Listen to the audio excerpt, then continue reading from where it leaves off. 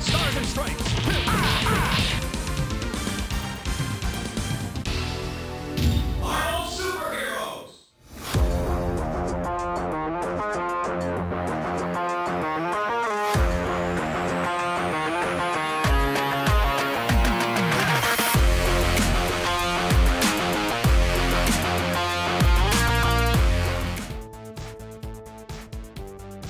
Una de las colecciones más destacadas del Fighting Game está a la puerta de la esquina y sí, te estoy hablando de Marvel vs. Capcom Fighting Collection Arcade Classic. Así que si eres un apasionado por los títulos de pelea o te gastabas tu morralla en las recreativas por eso de los 90, entonces este nuevo compendio podría ser para ti. Y bueno, no está de más contarte que aquí te diremos si Marvel vs. Capcom Fighting Collection vale la pena. Hablemos de, como su nombre lo dice, Marvel vs. Capcom Fighting Collection es una colección de una serie de videojuegos que a mi parecer cuenta con un catálogo histórico de títulos que marcaron una pauta para la evolución en los juegos de pelea. Y en esta colección podrás encontrar una serie de lanzamientos continuos año con año que van desde 1993 hasta el 2000, en donde te darás cuenta cómo la fórmula de estos juegos se fueron puliendo y mejorando hasta lo que hoy en día es la mítica saga de Marvel vs. Capcom. Bueno, hagamos un ladito infinito.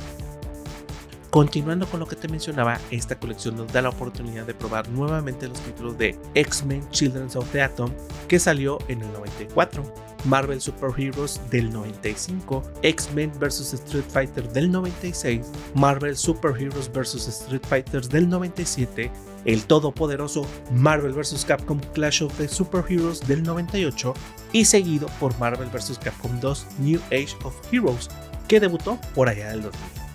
Y como extra adicional a todos estos títulos, también se incluye una joyita rara del gaming, siendo la versión para arcades de The Punisher, el cual vio la luz por allá de 1993.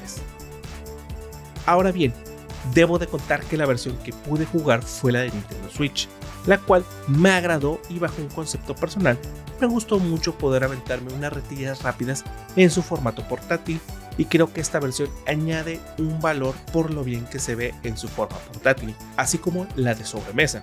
Eso lo comento de forma general si buscas decidir por cuál versión quieres escoger del juego. Ahí nada más te dejo el dato.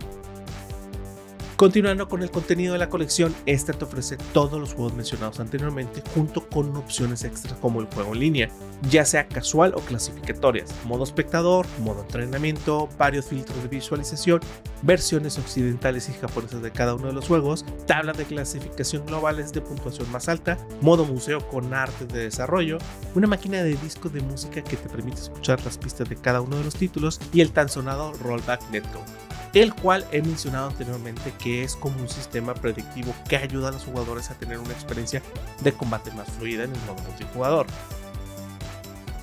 Ahorita que estamos hablando de los modos, hay dos cositas que quiero mencionar antes de continuar. En la primera va relacionada a que pese a que mis partidas se jugaron correctamente sin dificultad alguna en modo solitario y con un contrincante dentro de la misma consola, no puedo mencionar nada en el tema multijugador online debido en la etapa en la que se encuentra el juego, la cual aún no ha salido, así que este modo no fue posible jugar. Por otro lado, algo interesante que me llamó la atención es el poder disfrutar de las versiones japonesas de algunos juegos como la de Marvel vs. Street Fighter, la cual incluye Norimaro o que Marvel Super Heroes ya incluyen una forma más rápida de seleccionar a Thanos, Doctor Doom y Anita. También esto aplica para Marvel vs. Capcom Clash of the Super Heroes, donde los personajes secretos o alternativos ya están por default y no requieren hacer las combinaciones de movimientos para desbloquearlos. Cosa que me recordó que en su momento esto me sorprendió mucho cuando vi algunos compas de la colonia sacar a estos personajes. ¿Qué tal está el apartado gráfico audio? Hablando del tema gráfico, la colección apuesta por traernos varios de sus títulos de peleas más fuertes a plataformas de actual generación sin decepción alguna, permitiéndonos jugar con algunos filtros para simular los efectos que ofrecían las recreativas de aquel entonces. Adicionalmente, encontrarás distintos formatos de pantalla. Esto quiere decir que puedes jugar con bordes personalizados, pantalla completa, entre otros. Sin duda alguna, esta colección busca que disfrutes de estos clásicos de tu forma favorita. Por el tema del audio, este nos ofrece las melodías originales que se presentaron en cada uno de los juegos. Realmente no te puedo decir más sobre ellos, son geniales desde su lanzamiento original, así que por esta parte no te decepcionarás, te lo aseguro. Por otro lado, con el tema de los textos del juego, podrás encontrar distintos idiomas que van desde el español, japonés, inglés, entre otros. Así que tendrás los menús con el idioma de tu preferencia.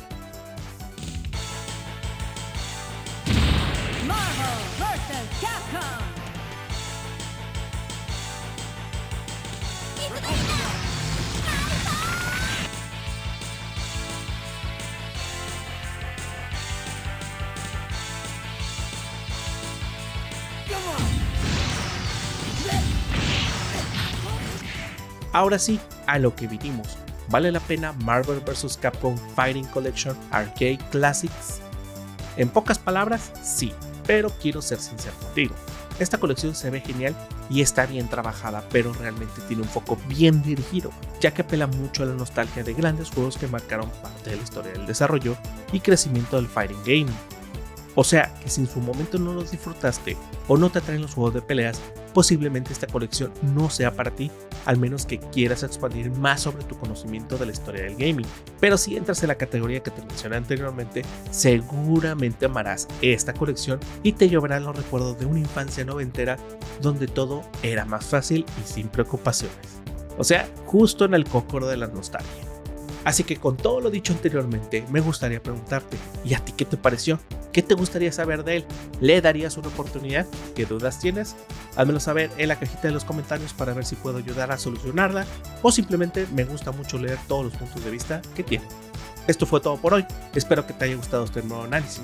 Si quieres leer la review completa, la puedes checar en nuestra página web que te dejo en la descripción de este video. Y también aprovecho el espacio para agradecer a Capcom por el apoyo para realizar esta reseña, ya que nos dieron la copia de este juego en Nintendo Switch.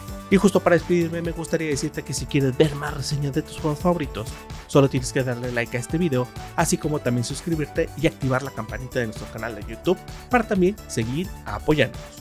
Recuerda que lo viste en Bonus Stage MX.